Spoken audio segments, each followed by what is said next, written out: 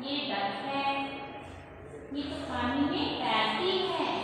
कहाँ तैरती है? पानी में।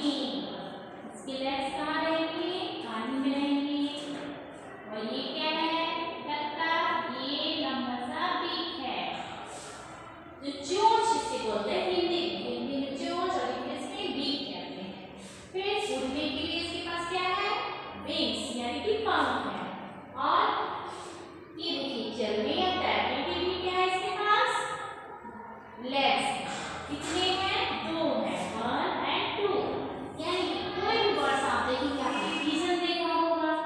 रीजन के भी पास। तो पंख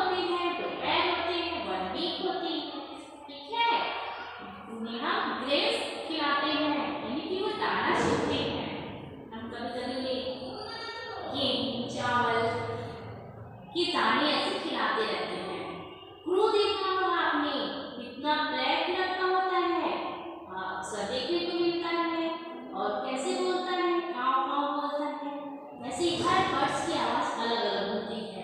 कुकू यानी कोयल को देखा है आपने? उसकी आवाज़ तो बहुत ही सुरीली होती है।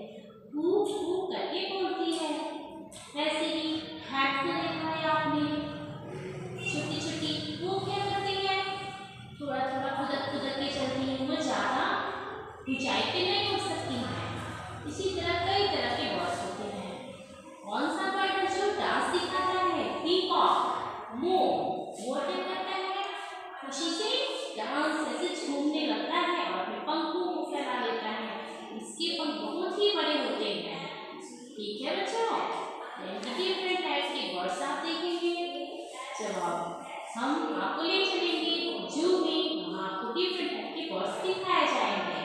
तो आपने पढ़ लिया कि कितने बर्ड्स होते हैं। आप अपनी कॉपी में कुछ बर्ड्स के नाम राइट करिएगा जैसे पीकॉक पिजन तो अपनी बस्ती में लिखिए याद कीजिए आप बुक्स में लेसन पॉइंट